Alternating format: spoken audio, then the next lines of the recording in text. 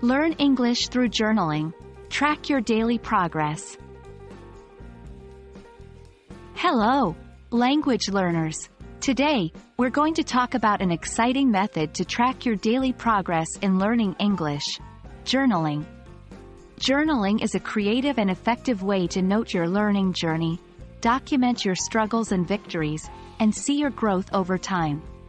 Let's jump right in. To begin with, what is journaling?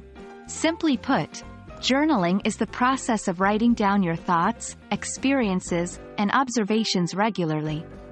In the context of learning English, it means jotting down your learnings, struggles, new vocabulary, grammatical rules, and even interactions you've had in English.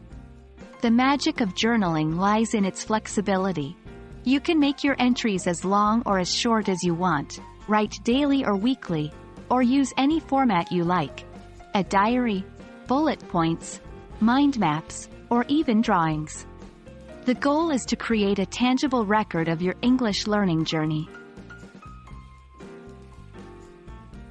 Journaling is a potent tool for English language learners. Here's why. 1. Reflection. Journaling allows you to reflect on your daily experiences with English, helping you identify areas of strength and improvement. 2. Retention. Writing down new vocabulary and rules helps reinforce memory and aids retention. 3. Progress tracking. Regular entries give you a clear visual of how far you've come. 4. Motivation. Seeing your progress over time motivates you to keep going. Are you ready to start journaling your English learning journey? Here are a few tips. 1.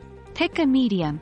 Decide if you want to use a physical notebook, a digital note-taking app, or a blogging platform. 2. Set a routine. Determine how often you want to journal. It could be daily, every other day, or weekly. 3. Decide the content.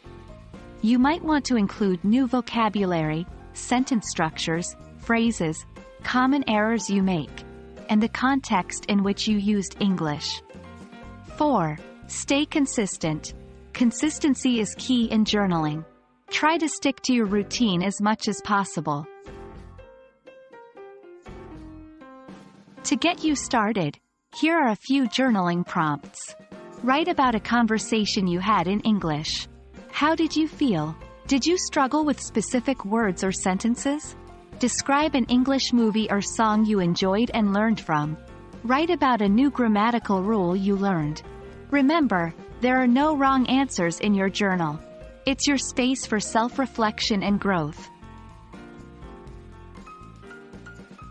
And that's all for today. By journaling your English learning journey, you're not only honing your writing skills but also creating a roadmap for your progress. I hope this video inspires you to start journaling and see the benefits it can bring to your English learning journey.